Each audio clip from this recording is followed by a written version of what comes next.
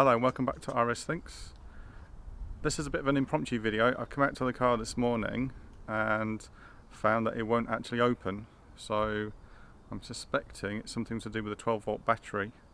But if just try the key, I'll show you the key. So I'm pressing, nothing's happening.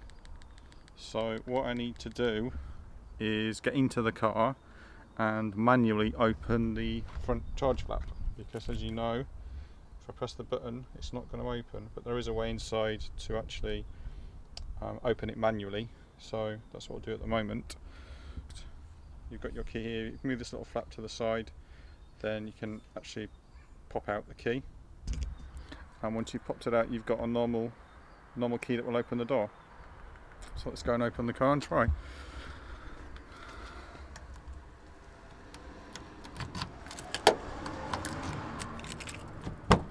Okay, so we're in. So now you just have to pop the hood.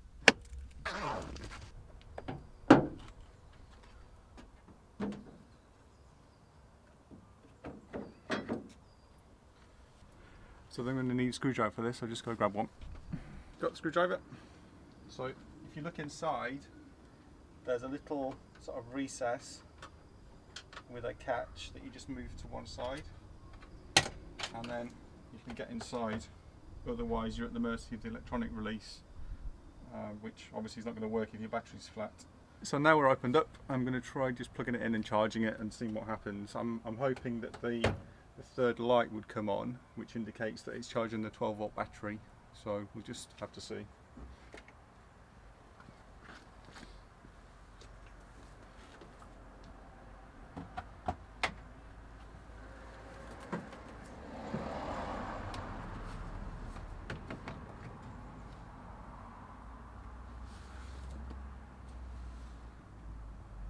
Well, nothing's happening yet.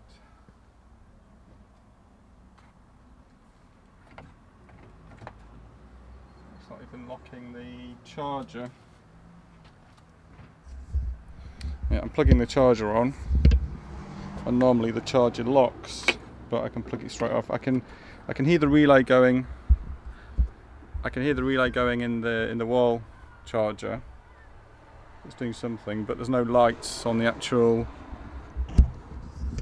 car that indicate charging or otherwise. So I'm a bit stumped at this one actually. I do have a battery charger, a 12 volt battery charger, maybe I could do that. Um, see what that does.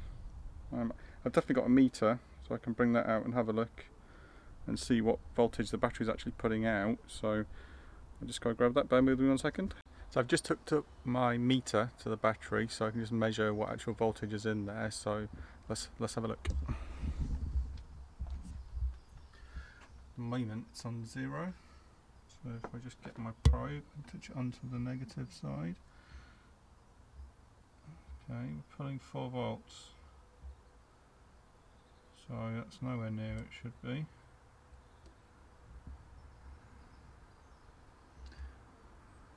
Should be around 12 okay. So what I'm going to try next I, I do have a 12 volt battery charger so I'm going to try connecting that and see if the power then actually starts the car charging because the car's still not charging. There's nothing nothing indicating that at all. So I'll try that next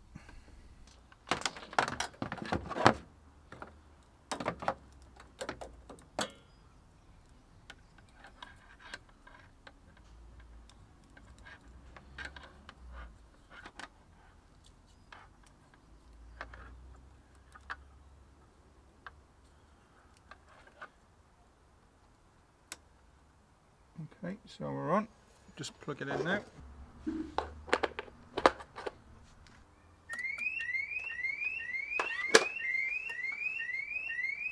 Okay. Excellent. So then I was able to actually use the key to unlock the car, turn the alarm off. Lots of clicking going on.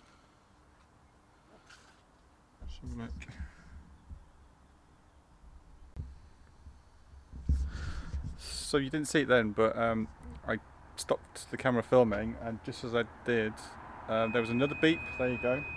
This is another beep. This is where the car is actually locking itself. So if I unlock the car and it stops, it's probably to do with the bonnet open, probably. I'm not sure on that, but the car is actually now charging. So if we have a look, look in there, the car's now charging. Just see that, I think. Zoom in. Yeah. So the third light is charging because we are about over 80% full anyway. The battery charger is saying that it's charging too, but it says it's actually full. So I'm going to pull off the battery charger now and just see if it makes any difference with the charging or being able to unlock unlock. Maybe maybe hooking at the battery charger has reset something. Oh, so the car just locked itself then and then we got the alarm again. So if I unlock it, that's fine. So let's just disconnect the battery charger.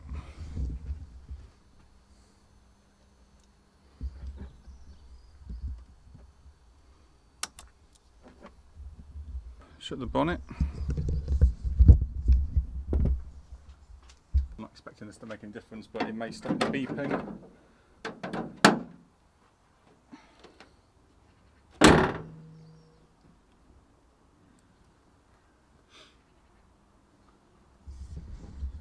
So we're still charging. Okay, the car's just locked itself again. Yeah, it was the bonnet open that was making the beeping noise then. So that's good. So, let's go see what we can see on Leaf Spy. So I managed to get into the car okay. The, um, the keyless thing's working, the little black button on the door handle is working as well. So I'm just going to uh, switch on. Yeah, that was, works okay as well. I'll just keep my little OBD dongle in the car. I'll just connect this up.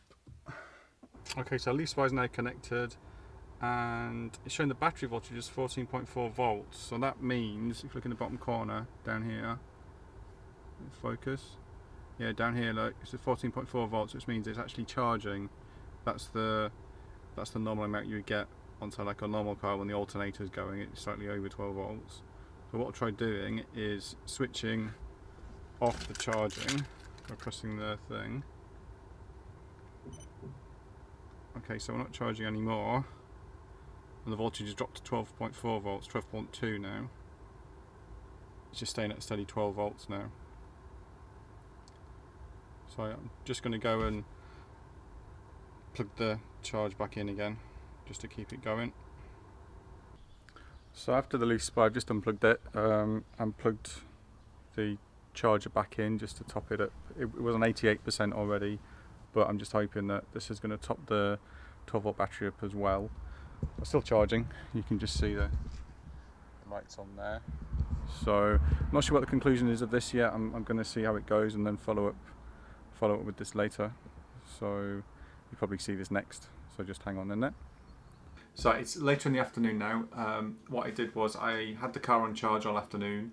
It was at 80 something percent anyway, so it only only took a few hours to get to 100 percent. Um, once it got to 100 percent, I connected the meter across the battery again and it was showing 12.8 volts this time. So it definitely um, charged the battery which which is good. It, it, it, shows the mechanism is still working correctly to do that. Um, I used Leaf Spy and went on just a short drive around the around the area and it actually logs all the values and things that it can see so there's various things in there like uh, the speed the distance you've done, the state of charge, all that kind of things. But there's also the 12 volt battery uh, voltages. So if you look at the screen here, it, it starts at 12.96 volts, which is which is fine. It, it did go up to 13 there at some point. Um, if we just scroll down a little bit further, you can see we've got a whole bank here of 14.4 volts, which means the battery was actually charging as I was driving. So that's that's a, another good sign. So I'm I'm pleased with that too. So something else that also happened was I checked the fault codes uh, for the car as well. So I'll put those here.